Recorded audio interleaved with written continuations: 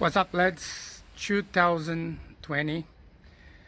Just a reminder for the members which are with us for a long time, but especially for the new members. The rules are there for everyone, and I can see most of you didn't read it. Maybe if I make this video, you will understand why we have these rules. We have 1.1k members on WhatsApp. If everyone start to comment or making jokes or putting videos or whatever my phone and your phone is gonna be non-stop and with a lot of shit in it. Whatsapp is just to share jobs. If you want to make jokes or whatever go on facebook. On facebook we have 3.9k members and you can put videos you can whatever comments, complaints, doubts, whatever. Go there and be free to express yourself, to put out everything that is there, struggling, suffocating you. When we start uh, this group, this was about two years ago. We had three guys and now we have more than a thousand. And the main thing about this group was to share jobs every job that you receive by email text message or you hear from someone. If you're not gonna take it you're gonna just share it.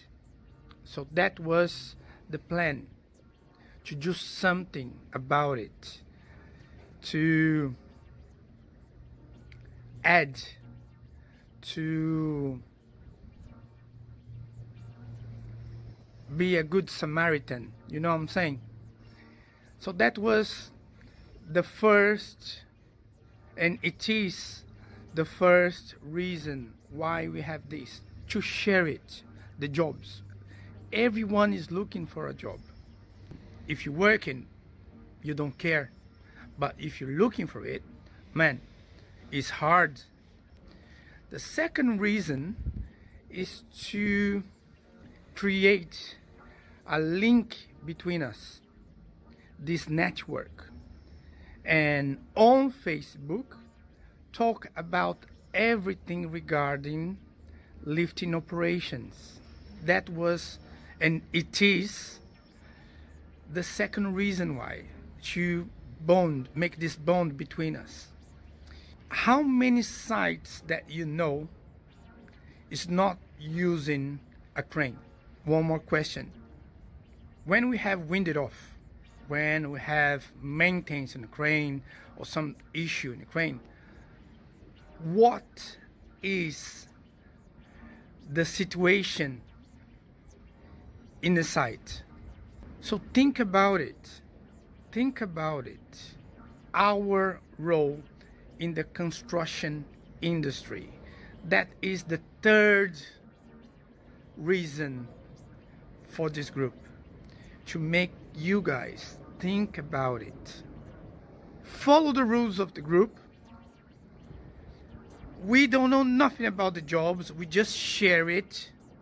If you have any question about the job call them. Don't waste your time texting, uh, where is the job, how much is the rate, or blah, blah, blah. Just go and call them. Have a beautiful week, a beautiful year. I hope that you have plans already for this year. All the best for you guys. See you around.